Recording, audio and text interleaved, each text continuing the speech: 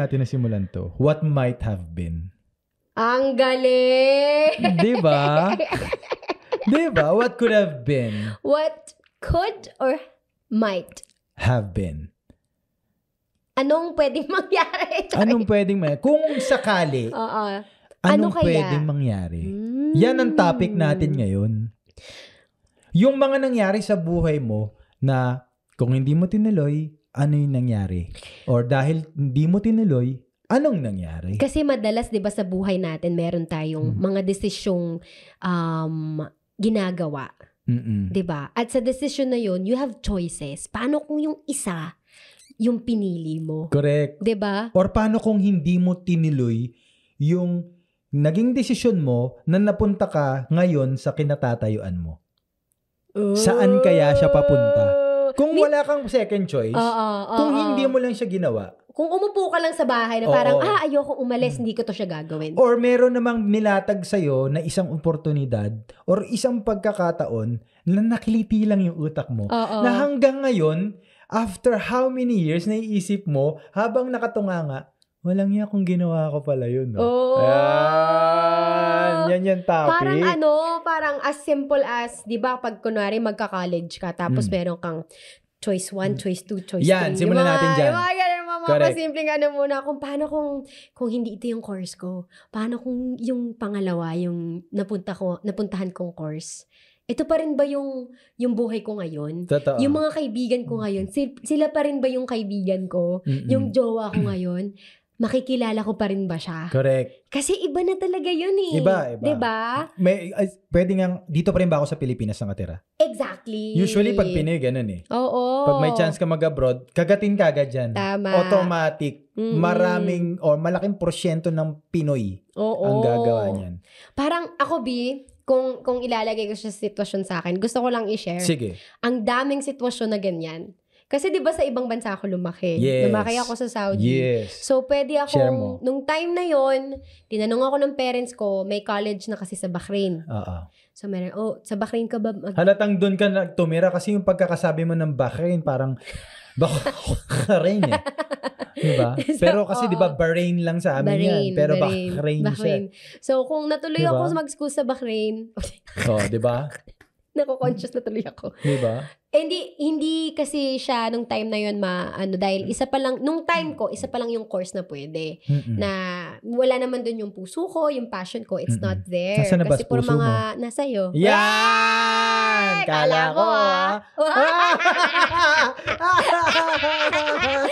Ay, galing sabay. Tuwad. It's Charing. meant to ball. Bakit Oh, tumuwad? gago. Ba't ako? Ba't ako? Ay, lang yan. It's meant to ball. anyway, oo. yan yung natawa ko. Ang daming pwede, ganyang instances. Kasi kunwari, kung doon nga ako natuloy mag-college, Mm-mm. iba yung friends ko. Iba. Iba yung, yung way of, kahit pananalita ko, iba. Mm-mm. So, ibang-iba. Ikaw ba nasunod, pero nasunod yung kurso mo nung college? Nasunod yung unang choice mo na Mm. naiisip na gusto? Kasi Oo. ako hindi eh. Talaga? Uh-uh.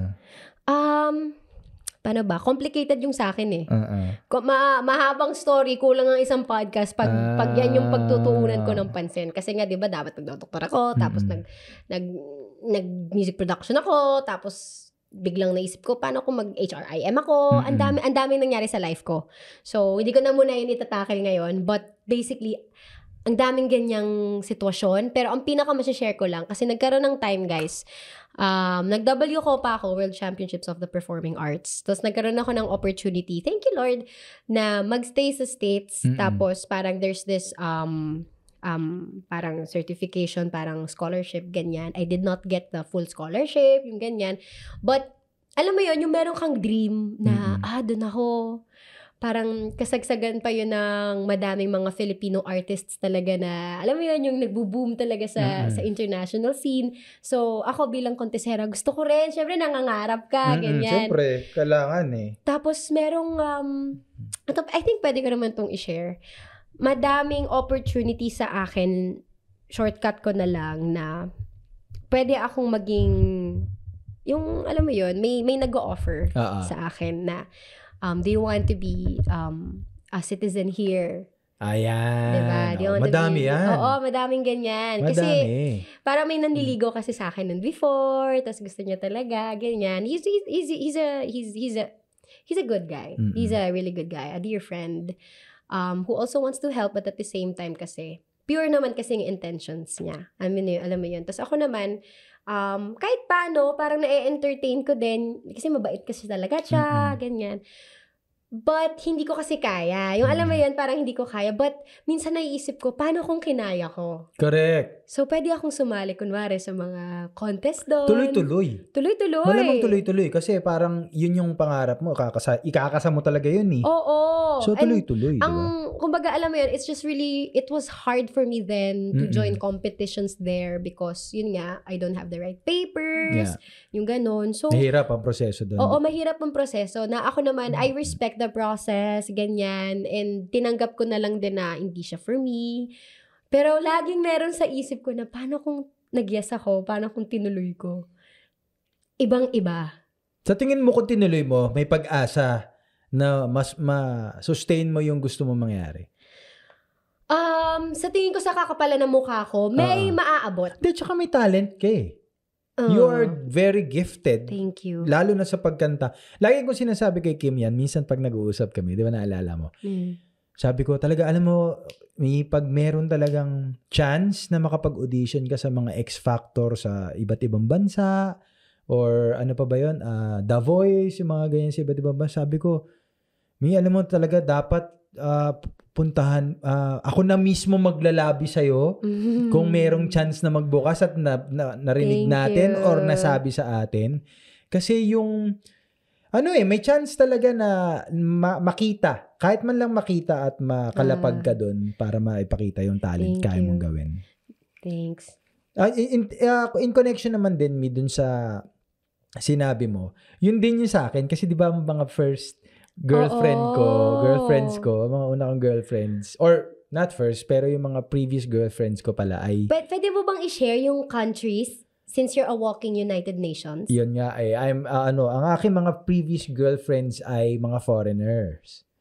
So, I'm the official tourist spot of the Philippines.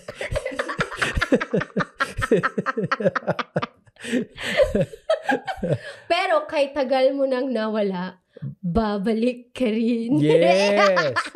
Totoo yun. Hindi ako, hindi ako OFW lang ah. I'm an official tourist spot of the Philippines. kasi yung first mong foreign, i- if you don't mind, Yeah, American. American. American. Tapos yung second, Ano bang second? American Puro, din yata oo, siya. sunod-sunod na American, tapos nagkaroon ako ng, ng, yung huli, syempre, bago French. ikaw, French. Wow. Yes. Alam mo naman. Uh, Pero, ooh, isa kang croissant. mm, oo, ako, hindi pa uso yung, ano, yung, yung sumusundo ng AFAM sa airport. Sumusundo na ako ng AFAM sa airport. Hoy! Nabitin ka, no? Nabitin kayo eh! Ah. Episode dito. Hindi, kung gusto nyo mapakinggan ang buong episode ng podcast na ito. I-search nyo lang po ang The Comfort Room sa Spotify at Apple Podcast at marami pang streaming platform for podcast. Diyan po mapapakinggan nyo ang mahabang episode ng The The Comfort, comfort room, the comfort room, the comfort Just room. click the link below.